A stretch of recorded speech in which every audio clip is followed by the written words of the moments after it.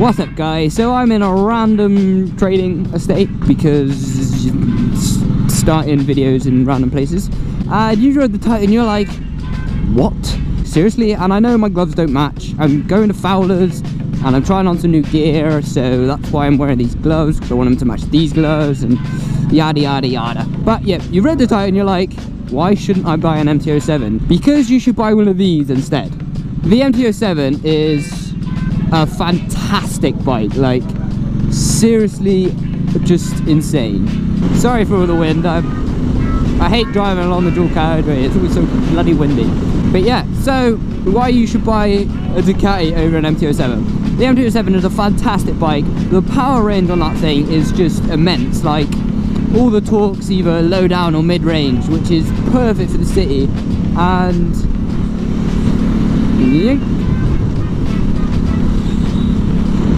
he's going a bit. So yeah, it's the perfect bike. Uh, but then for the same price for an MT-07 you can pick up one of these. And I think this is a lot, lot better. Personally anyway. Uh, obviously I'm biased, I own the Ducati. But I think the MT-07 and the, the Hypermotard 796 are very, very similar. Very similar CC size, very similar how they produce the power, and very similar in looks. But the MT-07 has become this super popular thing. And granted, it's because it's fucking amazing. Granted as well that you can pick up an, a second-hand MT-07 for about four and a half grand. So that's 500 quid cheaper than this. But this is a Ducati. You know, you're getting that Ducati name. And personally, I think this looks better. You're, if you put an MT-07 and a Ducati Hypermoto 796 next to each other, and let people walk past. More people are going to look at the Ducati, you know. Bright reds, people people know the name, you know what I mean? And personally, that that's what I love. Power-wise, they're pretty much exactly the same. You do get uh, ABS on the MT-07, which you don't get on this. Um, so if that's something you, you like, ABS, then get the MT-07 over it. But the MT-07 is so popular, loads of people got one. I think they've almost sold 100,000 uh, models uh, in the world now, which is ridiculous for a motorcycle. One thing, the advantage of an MT-07 is that I if I could have squeezed past this car. Nah, well. The turning circle is better than the Ducatis. The handlebars are a little bit thinner, so filtering between traffic, I think the MT-07's got it. MT-07 sounds pretty darn good when you put an exhaust on it. Don't say this the, the Ducati doesn't sound bad, but it does have its own Ducati sound. If you've ever heard of a ever heard of Ducati, trust me, it sounds a lot better in person. So it, it depends on what one you want. Uh, the reason I didn't go with an MT-07, that's a fucking rad thing, man.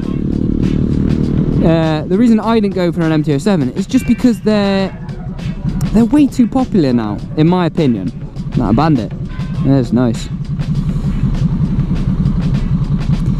It's nice if you want the MT-07 uh, I don't know mojo if you want you know, the torquiness you know being able to clutch up in third gear and uh, the, uh, an awesome sound etc etc but you don't want an MT-07 get this they're very very similar bikes seriously they're so similar it's ridiculous the MT-07 has you know got the edge in some places uh, it's a little bit cheaper. A brand new one is a little bit more expensive, so they're very similar in price. Um, but these are a lot rarer.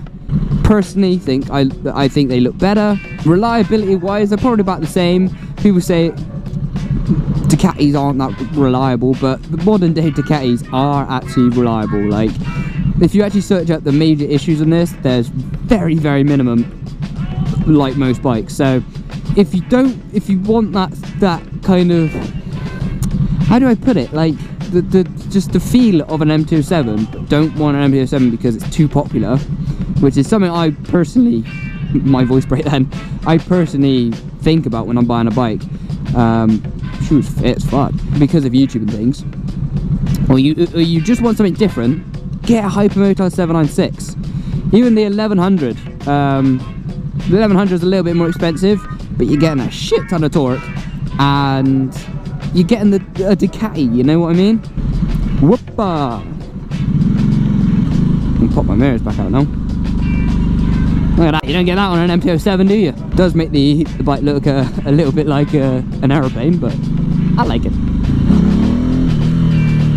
Hey, a good bike here.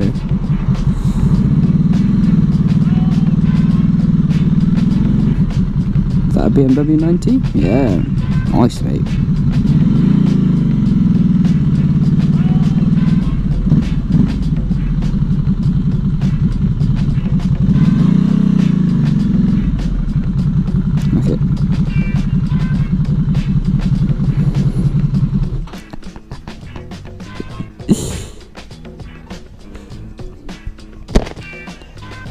Do you want to go here? What's that? Uh, it's, this, it's the 796 model, but it's an 803cc engine. Bloody good fun. Oh, it's, it's fucking amazing. I've only had her about three weeks now. Yeah. And I went from an R3 to this. And oh, this it's a different machine. Yeah. Uh, I've got some bloody torque. Oh yeah, it's mad. Yeah, I, I think it's like, I want to say it's 55 newton meters of torque, at like 4,000 revs. It's mad. Do wheelie. Oh yeah, very good at wheelies. But I, I thought uh, I rode my mate's um, KTM uh, LC4 640, Yeah. and that thing, you pull the throttle and it just it just wheelies everywhere. KTM 640. Yeah, 640. yeah, Um, and that thing, You you couldn't pull off. yeah. With the exactly, front wheel in the Yeah, I thought this would be the same, um, but when I bought it, come up around the corner from the dealership, I was like, oh, I'll bit of wheelies, and it doesn't. Like initially, because it's so long, Yeah. it just it like plants itself and goes. Um, but when you know the sweet spot, you can just it yeah, you too.